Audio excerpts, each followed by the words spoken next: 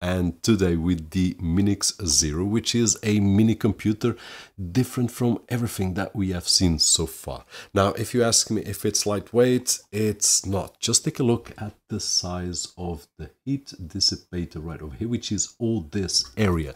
Quite heavy, a solid block of metal. But the big question is, does the CPU inside will be able to keep the performance while being tortured at maximum? And we are going to find out on this video. Now it comes with Windows 11 Pro and if you are watching this video on your Windows 10 or 11 computer and you still haven't activated and can't even edit your desktop icons, don't forget to check out cdkeysales.com where we can find budget official OEM keys at an affordable price and with the coupon code that you can see on screen and down below on the video description, it will get even cheaper. And besides Windows 11 Pro, if you are looking for Windows 10 or even an Office suite that we can aggregate directly to our Microsoft account, you can use the same coupon code, which will give you the best price possible at this moment. So just in case, the link will be down below. The Minix Zero features the Intel quad-core N100. It has 16 gigabytes of DDR4 RAM memory and it has 512 gigs of SSD. Now we can upgrade the memory and the SSD and it's as easy as just removing these four screws right over here on the bottom. One of the things that I did find really interesting as well is that when we remove the bottom cover we will find a solid block of metal that will help to dissipate the heat that comes from the motherboard and in this particular case instead of just dissipating heat on the top, we will also have heat dissipating right here on the bottom. Now, in terms of the upgradability, we will be able to upgrade up to 32 gigabytes of RAM and up to 4 terabytes on the SSD, which usually we can only upgrade up to 2 terabytes on this kind of machine. So the Minix Zero is one of the latest machines giving us the ability to upgrade up to 4 terabytes down the road if we want to. Now it also has these two SMA antennas to have a better Wi-Fi performance, two HDMI 2.1 ports at 4K 60 Hz, one 2.5 gigabit Ethernet port, which is great to see right over here, and this is coming more common and common in terms of these machines. It's not on all of them at this moment, but really happy to see it right over here on the Minix machine.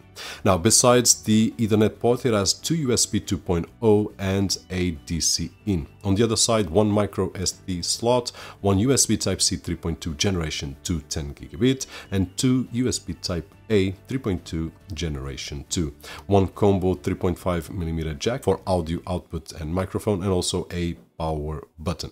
If you want to take a look at the accessories that come inside the package, just go to the end or wait till the end of the video where I will share a little bit of the unboxing so that you have an idea. And now let's take a look at some numbers so that we can remember of what the N100 is able to achieve.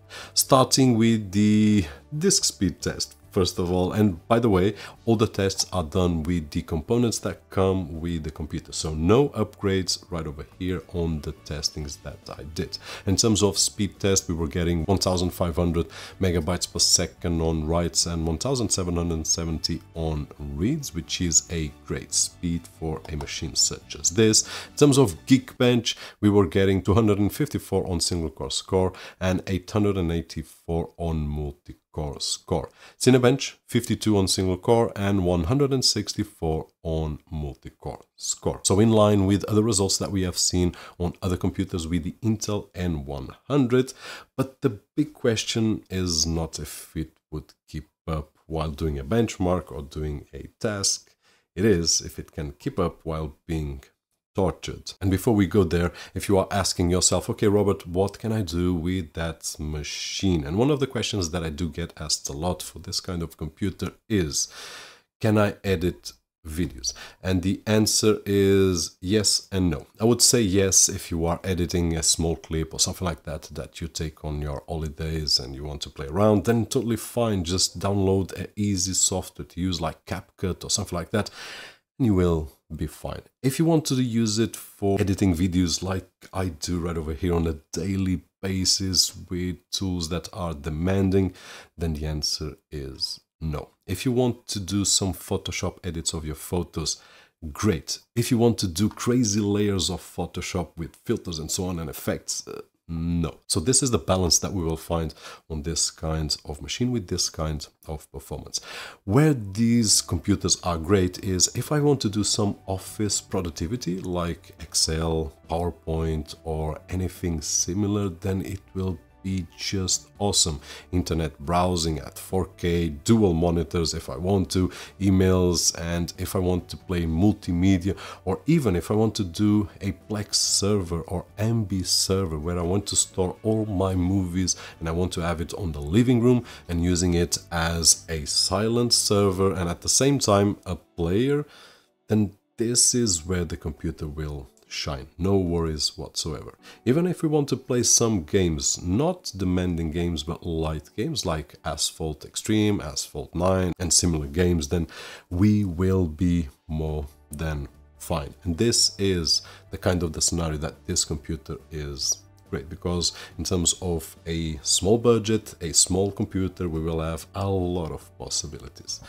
But this for those that follow the channel, you already new. Now, does it keep up? I did stress all the four cores at 100%, about 3 hours more or less, and it reached a maximum temperature of 79 degrees Celsius. And this was the first value that I was not expecting to be so low. I was expecting to be hitting about 90 to 95 degrees Celsius on a maximum of 105, which is the maximum that we know that these kind of CPUs support, but it didn't reach more than 79 degrees Celsius, which is just awesome. Now we can also see that it did keep up with a stable 2.6 gigahertz, which is far from the base clock, which is 800 megahertz. Now, it's not going to give us the 3.4 turbo boost maximum while we are doing the four cores at 100%. That is almost impossible on any machine that we have.